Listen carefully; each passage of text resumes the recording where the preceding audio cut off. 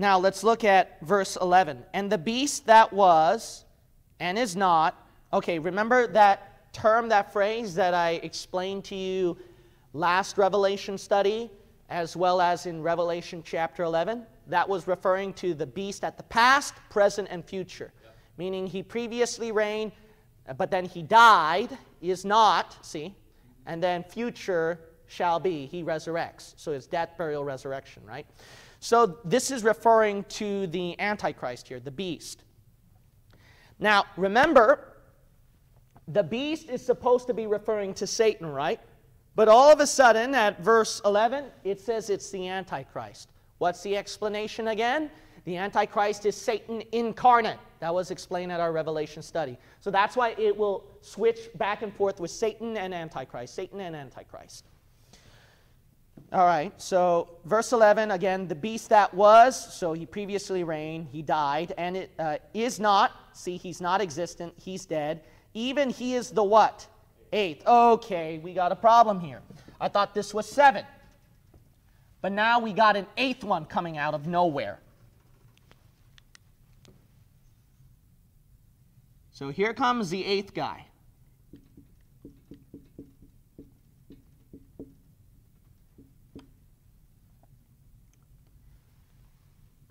So, what is going on over here?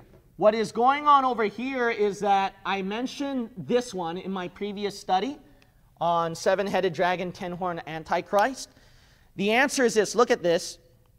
Verse 11, Pat, remember, the beast that was is not, and then I guess the next phrase is uh, shall be, right? Shall. So past, present, future, right? Okay, look at this. Verse 11, the beast that was past is not present, Future, even he is the eighth. See that? Future. Why? Because remember, this first Antichrist is on the first half here.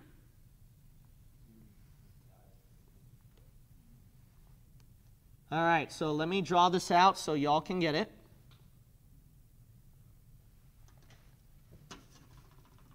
All right, let's um, try to make the picture a little bit more clear so that there can be less confusion. Hope you're following so far, that way you can get this. Yeah. This is the idea that's going on over here. So then the anti, look at the heads here, right? One, two, three, four, five, six, seven, eight, right? Okay, look at the heads here. The Antichrist coming at the future tribulation, right? Uh, was, is not. That's his first half here. Is the first half Antichrist different from the second half Antichrist when he resurrects? Absolutely. You might say, why? What's the difference? Because over here, he's coming down as the Antichrist, but over here, he comes in with the spirit of Judas Iscariot. So out of the bottomless pit. See, Judas Iscariot doesn't come in at the first half, he comes in at the second half. So the Antichrist, he comes in as a different man. Look at John 17 and 2 Thessalonians 2. And then we're going to look at Acts. Oh. No, I'm not going to do that because I want to jump to the other good stuff, right? Otherwise, we're going to waste time. So let's just go to John 17 quickly. And then we're going to look at Second Thessalonians 2.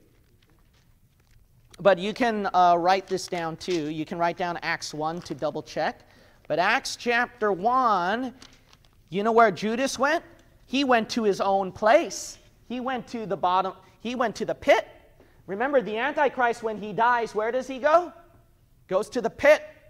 So he's meeting Judas Iscariot down there, and then Judas Iscariot resurrects. All right, let's look at Second Thessalonians 2. So we're going to look at Second Thessalonians chapter 2 first, and then we'll go to John 17. So Second Thessalonians 2. Did I say those two passages or one? Okay, uh, okay, all right. So let's look at verse 4 then. I'm just going to jump then, okay? Look at verse 3. Let no man deceive you by any means, for that day shall not come except there come a falling away first, and that man of sin be revealed, which everyone knows is referring to the Antichrist, but he's what? The what? Son of perdition. Okay. Uh, everybody who studies eschatology, end times revelation, agrees and knows this is the Antichrist at verse 3 and 4. Now, what is Judas Iscariot called at John 17, verse 12? John 17, verse 12. Now, what did Jesus say about his 12 disciples? Pay attention. Jesus is talking about his 12 disciples here. And he says, Every one of them is mine except one guy. Now, we know who that one guy is, right? Judas Iscariot. But Jesus doesn't say Judas, Jesus calls him son of perdition. John 17, 12. While I was with them in the world, I kept them in thy name. Those that thou gavest me, I have kept, and none of them is lost. The disciples, but, except, except which disciple? But the son of perdition, that the scripture might be fulfilled. That's why he comes out as eighth as well. He also comes out as eighth. That's the idea. So, this is how I would teach it concerning about uh, the seven to eight heads. Now, let's go back to Revelation chapter 17. What really shows how this number seven, okay, so I, I hope that you guys didn't get lost with the numbers. We know that this is number seven, right? And this is number eight, right? Okay, look at this. Notice the next part of the verse at verse 11, he is the eighth, right? The eighth and is of the what? Seven. Now, notice it specifically mentions seven here. So that's the reason why this can work. This makes a lot more sense over here. So that is how I would explain it concerning about uh, the seven to the eight heads. Now look at this, the latter part of verse 11, and goeth into where? Perdition. perdition. See, look. This guy who's of the seven went to perdition. Who's down there? Who's called son of perdition? Judas Iscariot.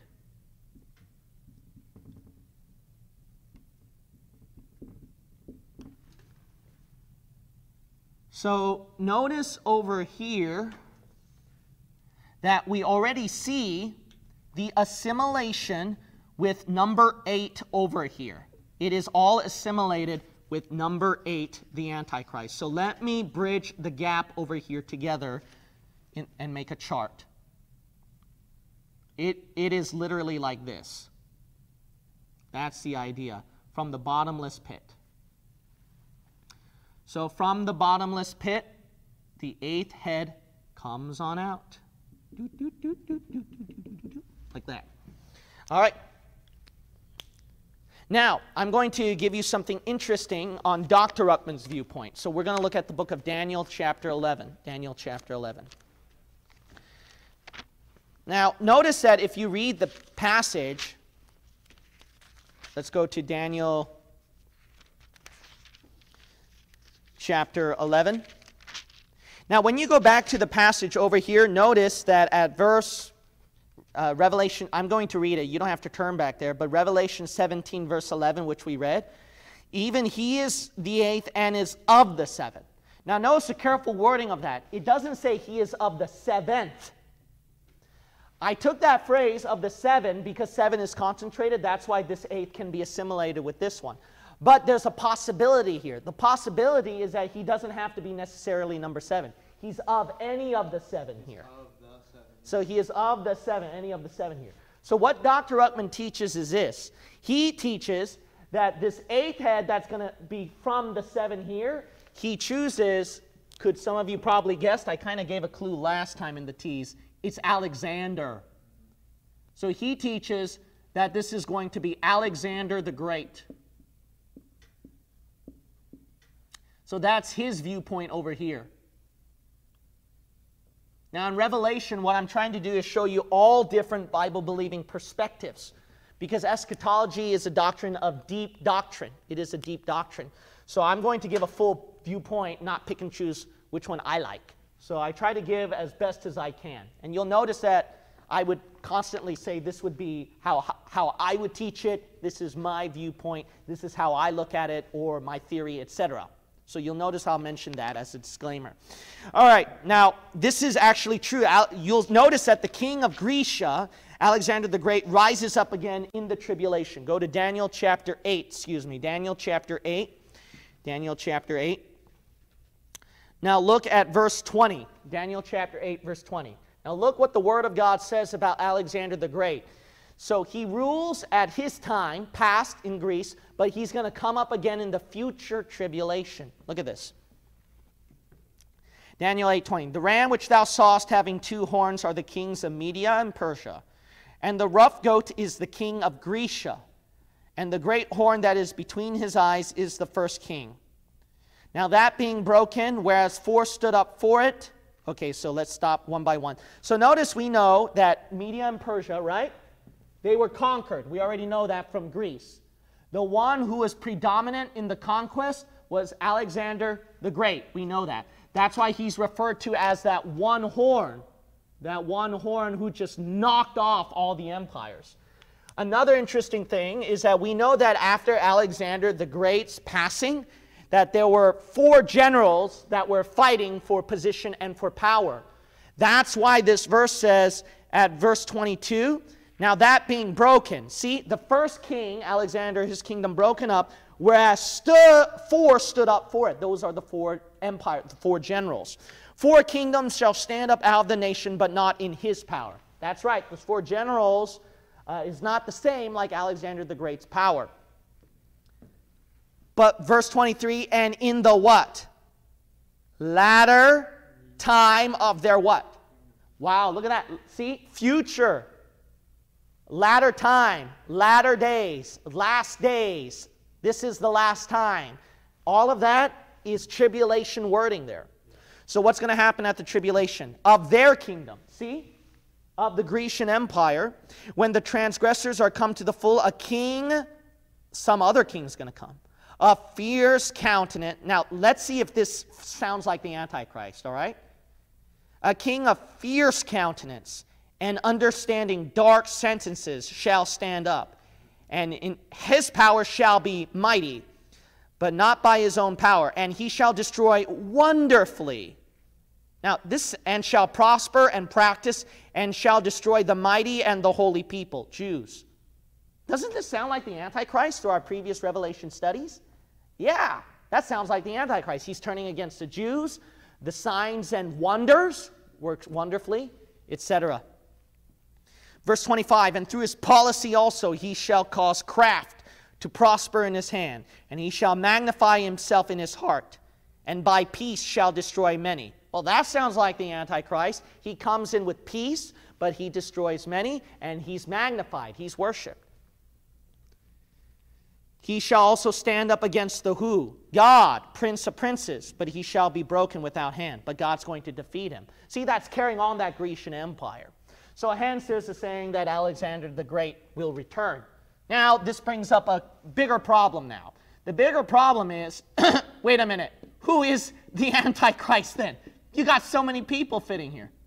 And then you got a lot of silly things online that this guy's the Antichrist. That guy's the Antichrist. This guy's the Antichrist. That guy's the Antichrist. You get people saying Alexander. You get people saying the Pope. You get people saying Obama. You got, got people saying, no, it's none of those things. It's Judas Iscariot. Then you guys, then you got people saying Nimrod will return and etc. etc. What in the world? What's the explanation here? This is not difficult to understand. You might say, no, it is difficult to understand. Well, let me explain to you. It is the spirit of Judas Iscariot, right?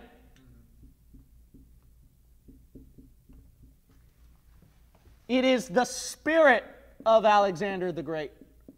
Now, let's add this together. Can many different demonic spirits fit in one body? Isn't that an easy, easy question that just provided an easy answer? A lot of time people come up with complicated answers because they come up with a complicated question to begin with. But if you ask the right question, then you'll get it. That's why it's possible. That's why it's very interesting. This is what I can allow too. What I can allow, now I don't teach this 100%, but I can allow this too. What can bridge mine point of view and Ruckman's and everybody out there who says Nimrod will return is simple. All seven heads are part of Satan incarnate. So it is possible that all of these spirits can combine into one within this Antichrist. Now, that is a fierce being that you don't want to mess with then. See? You only need the power of the Lord Jesus Christ to conquer this being. That's how powerful this being is going to be. So, that is a possible uh, teaching, which makes a lot of logical sense.